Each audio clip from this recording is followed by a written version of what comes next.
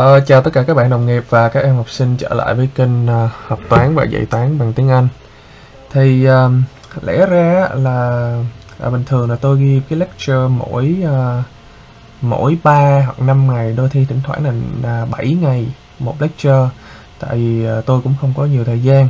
Nhưng mà cái lý do mà hôm nay tôi làm cái lecture là tại vì trong một khoảng thời gian sắp tới có thể là tôi sẽ rất là bận tại vì sẽ làm video uh, lecture video về cái uh, cái toán ở bậc đại học ở bên uh, Mỹ. Thành ra là có thể là bận không có thể làm được. Nhưng mà cái đó là chỉ là cái khả năng thôi nhưng mà sẽ có cũng có thể là cũng không có bận. Thành ra là sẽ có cũng có thể là trở lại video uh, uh, toán lớp 7 rồi lớp 8 lớp 9 and so on.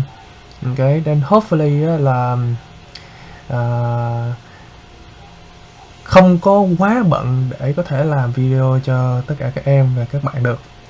But uh, anyway uh, chúng ta không có phí quá nhiều thời gian nữa nên là chúng ta đi thẳng vào cái um, video thứ hai của toán lớp 6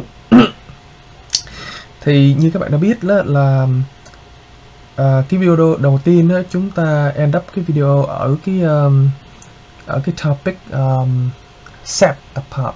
Uh, chúng ta học về tập hợp của số tự nhiên và chúng ta học về phần tử của tập hợp. À, chúng ta cũng uh, nói về cái tập hợp số uh, số nguyên. Cái số số on this uh, cái cái lecture thứ hai này của tái lớp 6 thì uh, tôi sẽ uh, um, nói một tí về cái uh, định nghĩa của tập hợp con. Sau đó uh, review lại những cái uh, phép toán cộng trừ mà chúng ta đã từng học ở uh, tiểu học và cũng như uh, uh, show kiểu như làm là chỉ cho các bạn biết các học sinh biết để mà viết một cái con số như thế nào. Okay so welcome back to our channel uh, learning and uh, teaching math in uh, in English. So uh, usually I offer a uh, lecture video every five days but I have got plans in the next uh, uh, few weeks uh, hopefully that I still have time to give this another lecture on 7th grade and 8th grade but uh, I'm not really sure. And um, yeah so um, hopefully hopefully that I still have time for it.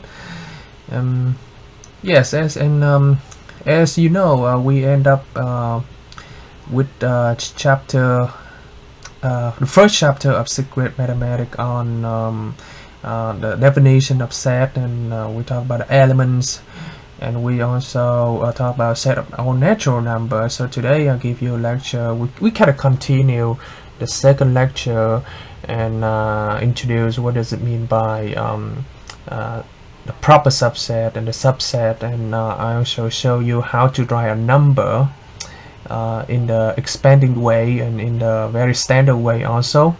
Okay? So let's not waste our time and uh, let's get started okay? So okay. Thì cái định nghĩa của cái subset uh, cái, cái cái cái cái tập hợp là các bạn đã biết rồi. So cái cái cái định nghĩa cái mà tôi muốn dạy hôm nay cho các bạn là cái định nghĩa về cái tập hợp con. Okay so first Roman. Okay. Tập hợp con.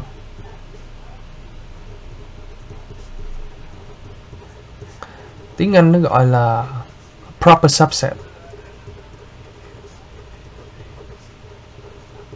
Okay.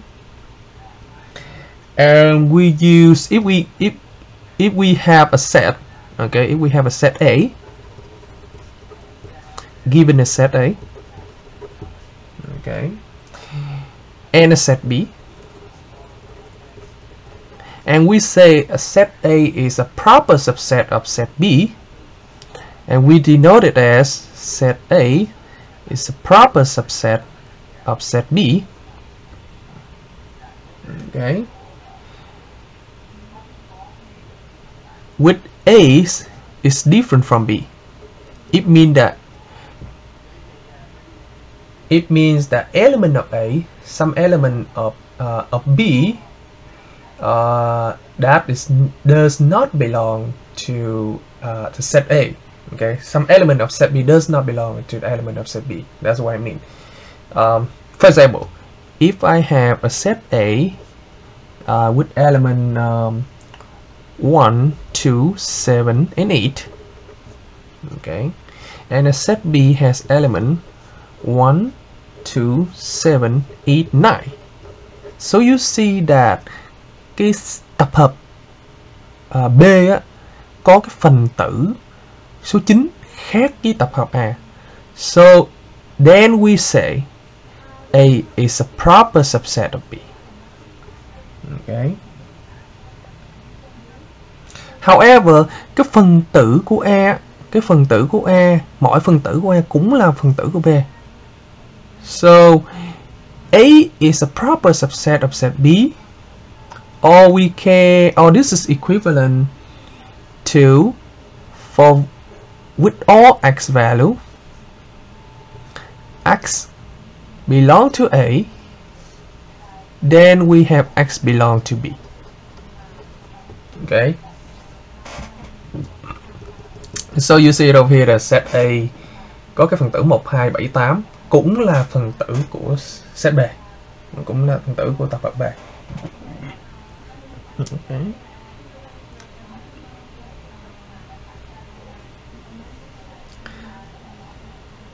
So we have a remark. If A is a subset or a proper subset of B, and B is proper subset of A, if we have these two conditions, then we can say that a set A equal to set B. Okay. So if you look at the tech, uh, the textbook over here, uh, they does they don't give you a lot of example. However, they give you example of um, uh, they don't give you example. They just give you some exercise, and they give you example. They give you something like a set M uh, có phần tử là 1, 5 Set A có phần tử là 1, 3, 5 Và set B có phần tử là 5, 1, 3 Và họ nói là Nó hỏi là dùng cái ký hiệu này Cái ký hiệu proper subset này Để thể hiện cái quan hệ So they show the relationship among three sets okay so I look at that and I feel like that uh, uh, uh, set M is a proper subset of set A for real right? And set M is also a proper subset of set B. Okay. And A and B kind of the same. So we can write set M is a proper subset of set A and set A is equal to set B. Because A and B contain the same elements. Okay. 1 3 and 5 ok and I thầy cũng có nhớ là khi mà chúng ta kết thúc cái video đầu tiên của toán lớp 6 thì chúng ta học về uh, số tự nhiên ok? Uh, về tập hợp của số tự nhiên ok? And then nếu mà uh, chúng ta muốn viết một cái số tự nhiên thì chúng ta phải viết như thế nào okay so on the second part of the uh, on the second Roman of the lecture I want you I want to show you how to write a natural number. Okay. Okay. Natural number. For example what what if I want you to write a number a number contain um five digits? Là 5 chữ số 5 digits. 5 digits. 5 chữ số còn natural number là số tự nhiên nha. Số tự nhiên. Ok. Chẳng hạn như cái số uh, I want you to write uh, a number with five digits like um, 85,215 for example. Then how you gonna write it okay how do you know how do you know that what did you write before the other how do you know làm sao các em biết được uh, cái số nào uh, đứng trước cái số nào để chúng ta có thể viết Okay. Và cái cái cái cái cách viết như cái cách viết chẳng hạn như cái it's like 85,250 over here we call it standard form. Standard form. Okay. So what do, what do I mean by standard form? A standard form number is a form is separated into a group of three digits using commas. So I supposed to have a comma here. Okay. So a number in standard form in standard form is separated into group of three digit. So you see that I put a comma over here you know this is this is uh, a group of three digit right here. Using commas. Nếu mà chúng nếu mà của em muốn viết một cái con số một cái số uh, gồm có 5 chữ số, 7 chữ số, 8 chữ số chẳng hạn trong một cái cái cái cách viết tiêu chuẩn cái standard form á thì uh, chúng ta phải dùng dấu phẩy và cái dấu phẩy để cách mỗi ba chữ số uh, mỗi ba chữ số ra. Ok? So each of these group is called period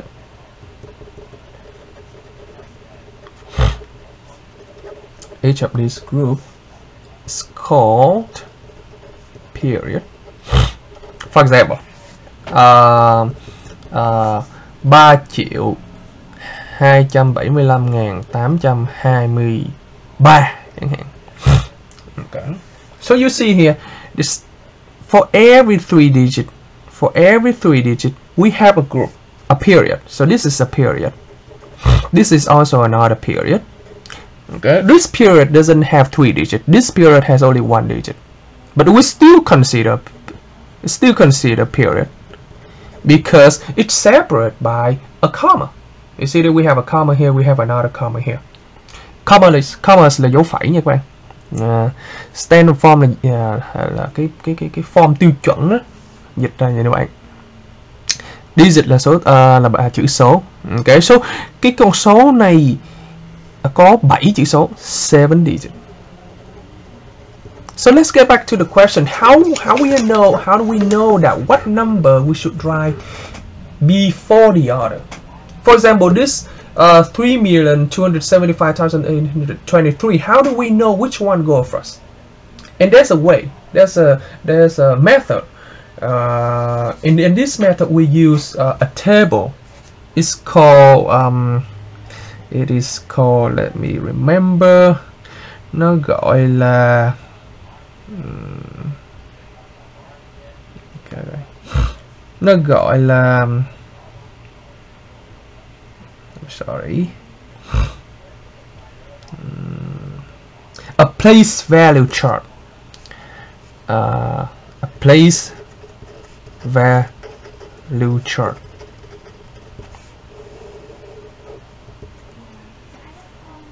Okay so in order to write a number and in order to know what numbers to to write before the order we need the position we need to know where you put the digit into a certain place, into a certain position, right? For example, how do I know that I put number 3 over here? How do I know that I put number 8 over here? That's why the place value chart come into place. That's why the place value chart will help you. Okay, how to do it.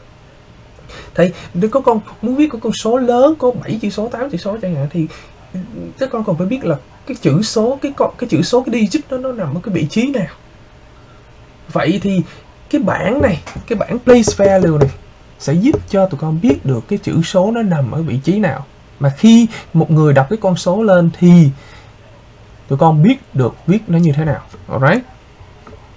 Okay so the place value chart is help us in finding and comparing the place value of the digit in number through millions. And the place value chart is in, this increase by 10 times as we move to the left and decrease by 10 times as we move to the right. Okay if I say like that it's very hard for you to understand. So let's let's draw a chart okay? Chúng ta vẽ cái cái biểu đồ ra để chúng ta biết liền okay? Uh, okay uh, so let's see. I'm gonna just draw a quick chart right here. Cái chart này nó cũng không có gọi là chart thì nó cũng nghiêm trọng quá nó cũng không có ờ, có, có, có nói chart thì nó không có giống cái chart mấy nhưng mà cái, nó chỉ cho chúng ta biết được cái vị trí của cái con số mà chúng ta cần phải viết. Khi mà khi một một người đọc cái số lên thì chúng ta biết được cái đó là cái vị trí nó nằm ở đâu. Ok. Okay so the first position the first position the first place we call ones place. Okay one place. Then we have uh, tens place. Then we have um, mm, hundred place. Hàng hàng hàng đơn vị hàng chục hàng trăm. À cái này là hàng đơn vị nè. Hàng đơn vị. À, hàng chục hàng trăm rồi hàng ngàn. Hàng ngàn. Hàng chục ngàn. 10,000 place okay 10,000 rồi hàng trăm ngàn. 100,000 place okay 100,000 place và chúng ta có trên 100,000 place uh, we have uh, millions. Millions and we have ten millions. And we have hundred millions.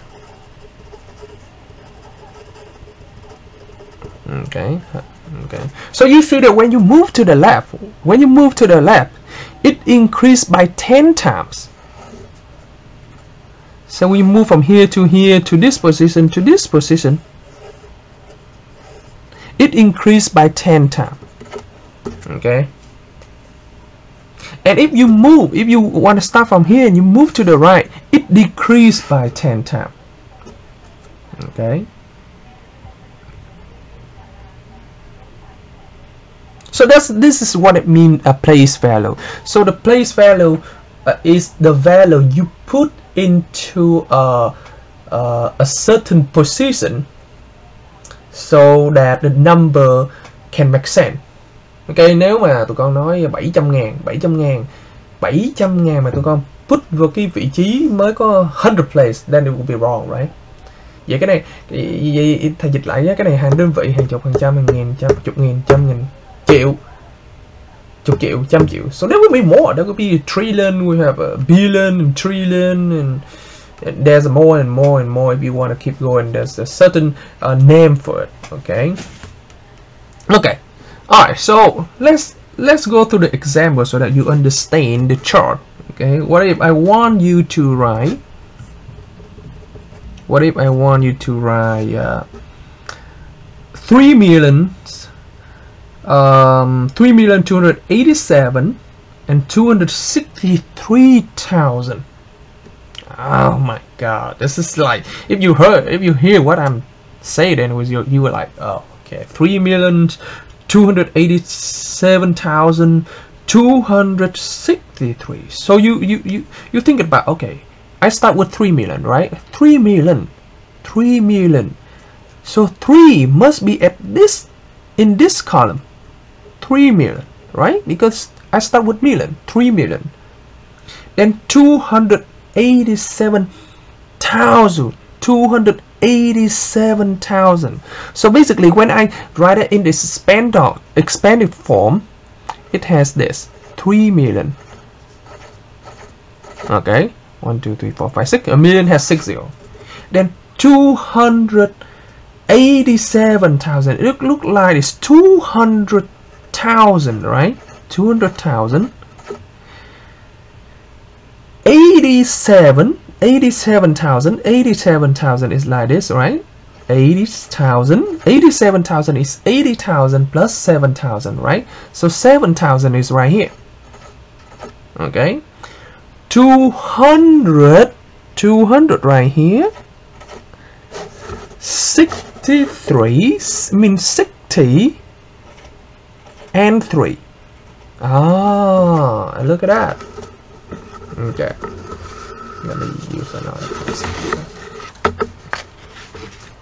Look at that, what we have.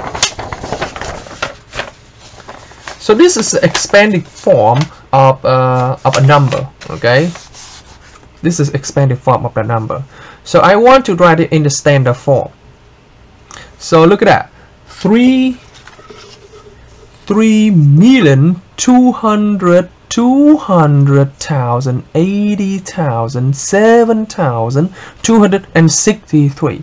So it become this one go first, right? So this expanded form becomes become what? Three million two eight seven two six three. So this is standard form. This is standard form. Okay.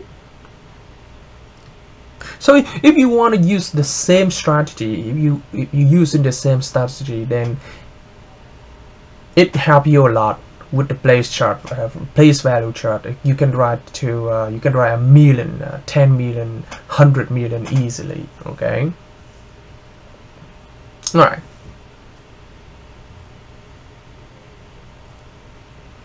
On the on the third Roman of the lecture today.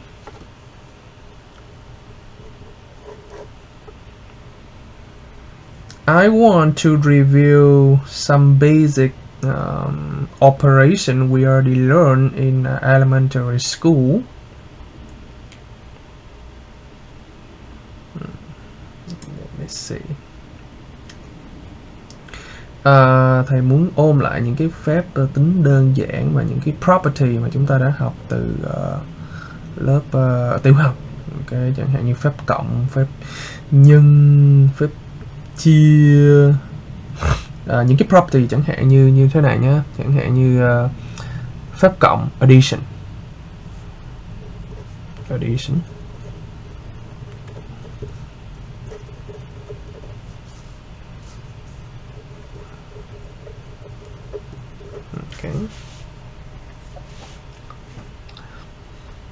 Chúng ta có vài cái tính chất chẳng hạn như chúng ta có tính chất giao hoán. Chúng ta có tính chất giao hoán à, chúng ta có tính chất kết hợp. Ok. Tính chất giao hoán là commutative. Commutative property.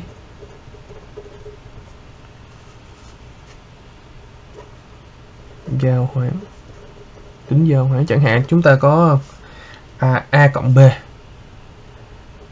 Thì tất nhiên sẽ bằng b cộng a so this is called a commutative property. Property. If we have a plus b then equal to b plus a. It doesn't, it doesn't change anything. Cái tính chất thứ hai là tính chất um, tính chất thứ hai là tính chất uh, kết hợp.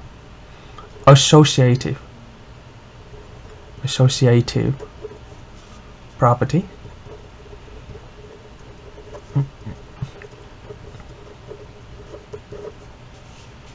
Tính chất kết hợp cái chẳng hạn như chúng ta có uh, a cộng b uh, cộng c thì if we put the parenthesis here dấu ngoặc dấu ngoặc là parenthesis ha.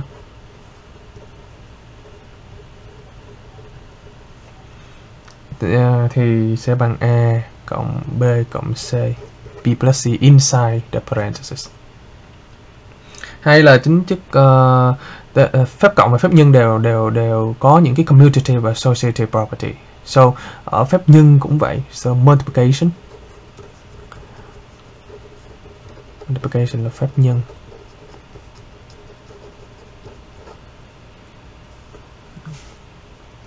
Thì chúng ta cũng có tính chất commutative là y a times b equal to b times a or a times b times c. We put parentheses equal to a times b times c inside parentheses okay. Hay chúng ta có một cái ờ, phép tính được it's called distributive property. Là cái cái tính chất uh, nhân với một tổng. Nhân hay nhân với một tổng For example, we have like a times b plus c then become a times b plus a times c. So all of these properties are very important. You know, you're supposed to uh, memorize it because later when we evaluate uh, we evaluate um, mathematical expression, we might use it a lot. Okay.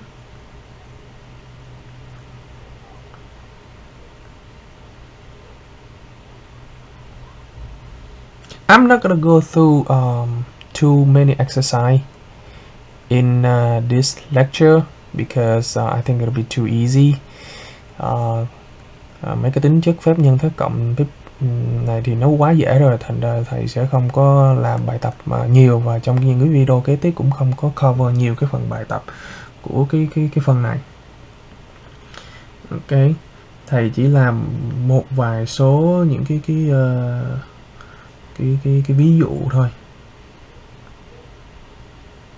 Chẳng hạn như trong phép trừ chẳng hạn so we have addition we have multiplication we have subtraction. Subtraction subtraction. Phép trừ.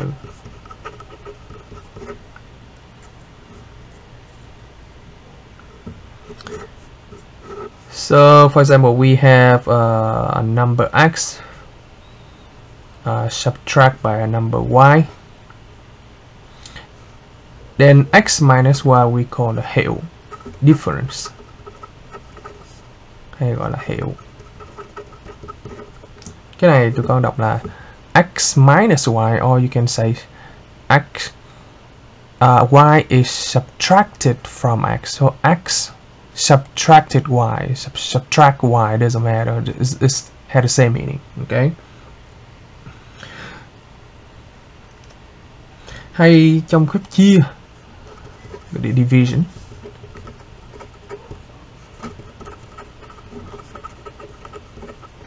Okay, chẳng hạn như um,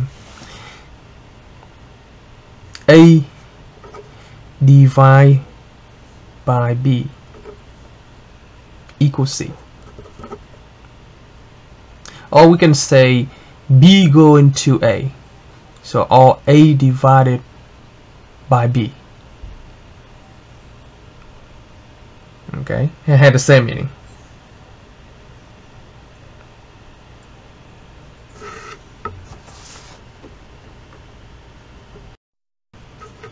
Okay, so the A value here, the A over here we call dividend. Okay. B gọi là divisor. C gọi là quotient. Dividend hình là dịch ra là số chia. Số số uh, số bị chia. Ok. Còn uh, b là số chia. Còn quotient gọi là thương okay. so we can say a divided by b equals C or you can say A is divided by B equals C.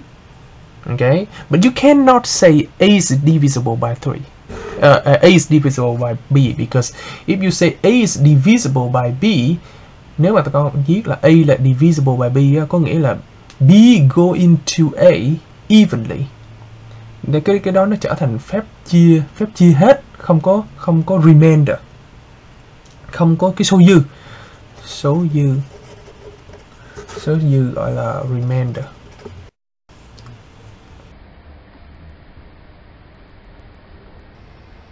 So we have we have the form like this: if A equal B time Q, Q is quotient plus R.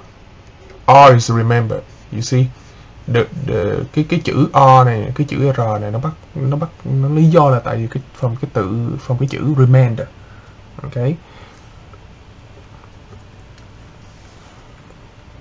Alright. Chẳng hạn như uh, if I say um, if I say um, 12 divided by 3 equal 4 I can say like that. Uh, and I can say 12 12 is divisible by 3 12 chia hết cho 3 hai tụi con có thể viết là hai tụi con có thể nói là 3 goes into 12 evenly. Tại vì nó sẽ cho tụi con số 4 okay. Okay. And you can say 12 is divided by 3 or you can say 12 divided by 3 divided divided by 3 so 12 divided by 3 cái này là viết theo cái kiểu gọi là trong tiếng Anh nó dùng cái ngữ pháp gọi là past participle nha. Trong tiếng Anh á. Past participle đó là cái kiểu viết viết tắt. À, không phải viết tắt mà cái kiểu viết um, theo, theo ngữ pháp là như vậy. Hoặc là chúng ta có thể viết là 12 is divided by 3 it has the same meaning.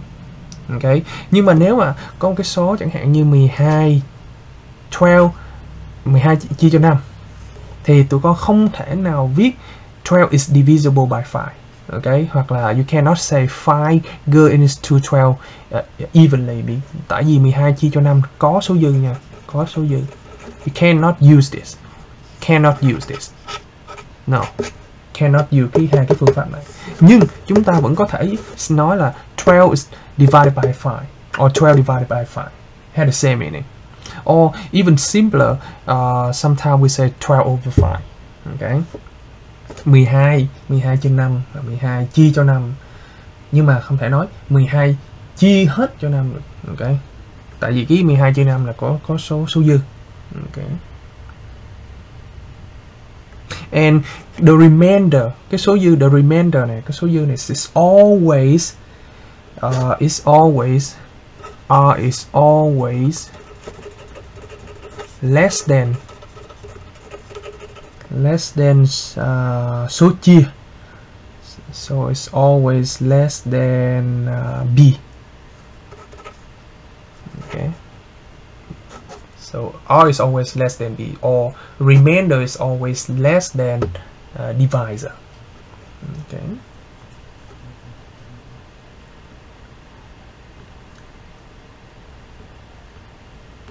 So that's all the arithmetic um, concept arithmetic operation I want to review for you in this lecture um, let's see I just want uh, let's see if I want to give you some uh, practice problem.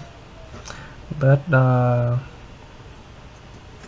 I look at the textbook right here and I don't see any really hard problem. I think that uh, you can uh, you guys can do it um, really quick. So I don't think that I'm gonna go through that but in the next video I'm gonna give you the, after I give you lecture I, I'm gonna give you uh, some more practice and I'm gonna go through the practice with you guys um, more maybe two or three more uh, I don't know.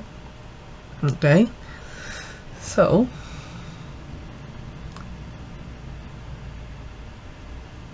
so in the next video I will be talking about the exponent. Okay I'm talking about the the power number and I think that's all for the lecture today. So if you uh, think that my lecture is really helpful and uh, if you want me to go through some uh, certain um, question or you want me to go through some um, uh, specific uh, problem just let me know and just uh, put the comments under the YouTube video. Then uh, I will see about that. And if I have time that I will and I, don't promise anything but if I have time then I go through that with you in English. Okay nếu mà tụi con thích cái video mà thấy các bạn muốn cái video này thích cái video này mà thấy nó có hữu dụng á thì các bạn ờ, nhấn subscribe so that um, uh, hopefully là trong cái khoảng thời gian tới thì tôi sẽ có thời gian để làm cái video uh, toán lớp 7 nữa và lớp 8 và lớp 9 okay thank you so much and I'll see you